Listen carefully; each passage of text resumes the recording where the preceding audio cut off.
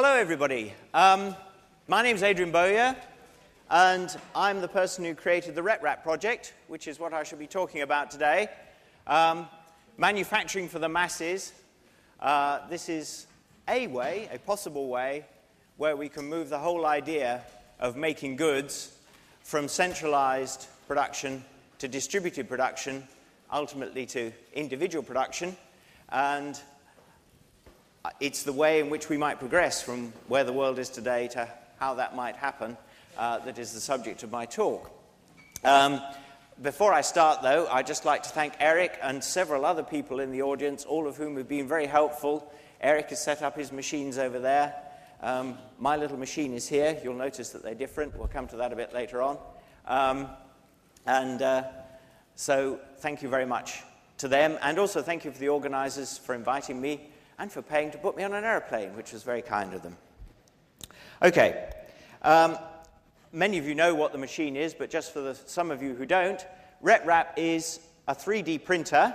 It's a machine that makes three dimensional objects in plastic from description on the computer, completely automatically um, in plastic. Um, but the key thing about RepRap is that it's a replicating 3D printer. It's been designed so that it can print its own parts. Not all of its own parts, as we shall see in a moment, but a significant quantity of its own parts. Um, that's a picture of the machine on the screen there. Uh, that's the machine, in fact, a very similar machine to the one that you can see on the front bench there. Um, and this little part here is that part that's on the screen over there. And that part of the machine is actually this bit of the machine down here. Um, and so everything you can see on that picture that's this sort of silvery whitey color was printed in a machine like that one in order to make that one. So it copies itself, in part. A um, few facts about the machine. Uh, it can copy about half of its own parts. That is, if you don't count nuts and bolts. Uh, it's got lots of nuts and bolts in it. If you count nuts and bolts and then look at the pie chart, the entire machine is made from nothing but nuts and bolts. Um, so if you discount fastenings, uh, then it prints about half of its own parts. In fact, that's not really cheating because it would be perfectly straightforward if you wanted to, uh, to have the machine print a series of little cylinders which you could use in the place of nuts and bolts and glue the parts together. That would work fine. It would just mean that you wouldn't be able to take the machine apart again, which, from the point of view of maintenance, is not such a clever idea.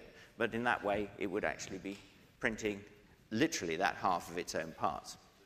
Uh, it was deliberately designed so that the bits that it can't make very, are very easy to obtain from hardware shops or from online stores.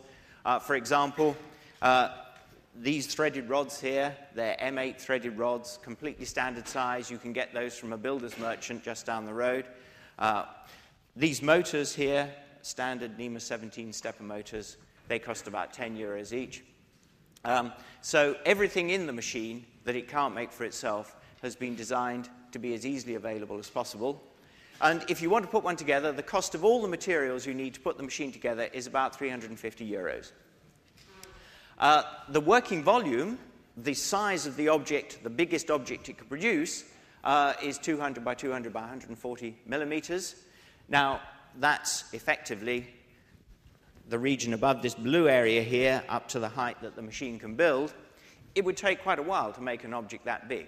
One of the things about this technology is that the time it takes to make something is proportional to the volume of the object, and the volume of an object, as you all know, goes up as the cube of its linear dimensions.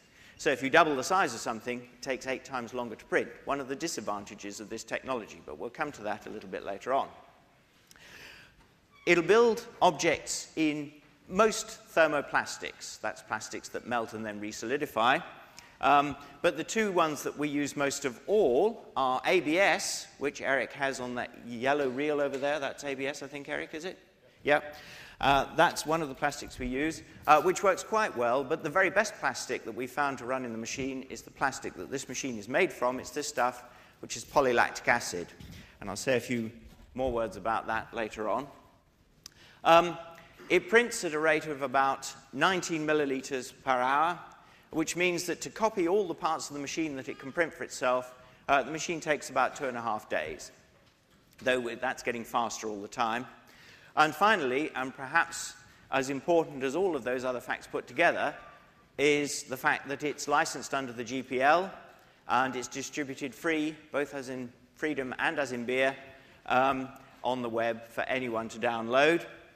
And the GPL, of course, means that anybody who makes improvements in the design also has to distribute those under the GPL, as you all know even better than I do, uh, which means that the design can evolve, and those evolving steps are always going to be available uh, under the GPL. Uh, here's a little map. Um, when people start putting machines together, we invite them to put a pin on the Google map.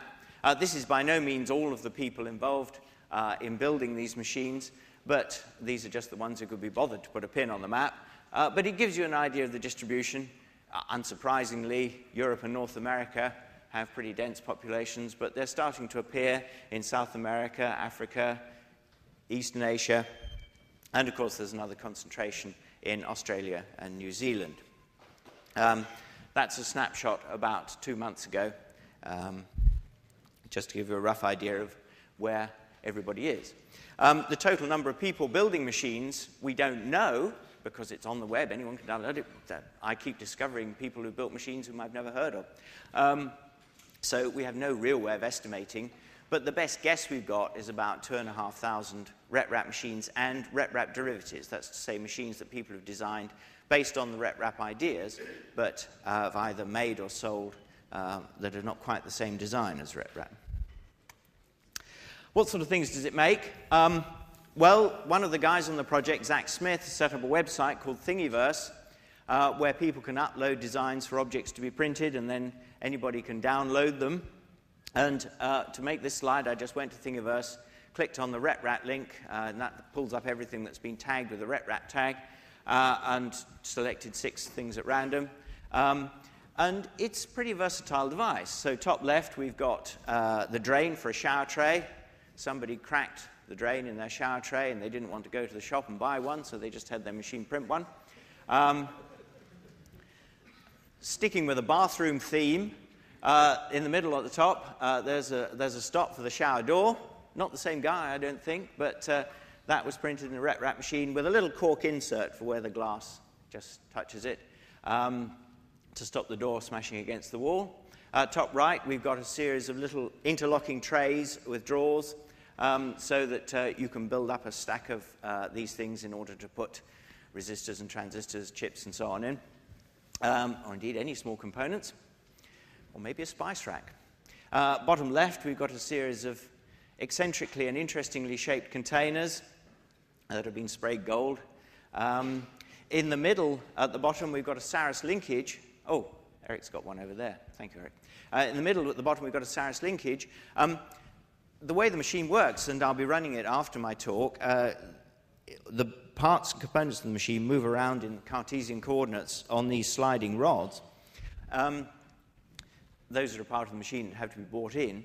The person who designed this linkage is trying to eliminate those by making a parallel motion, which is almost entirely designed in the machine and built in the machine itself. Um, this is a parallel motion that doesn't require sliding rods, it just requires hinge joints, which are here, here, and here, and so on around the, the object. Um, so that is a far higher proportion of self-printed parts. And bottom right, we've got a little robot, uh, uh, might be an educational toy, um, something of that nature. All the mechanical components that decide the geometry of the robot were printed out in a RepRap machine.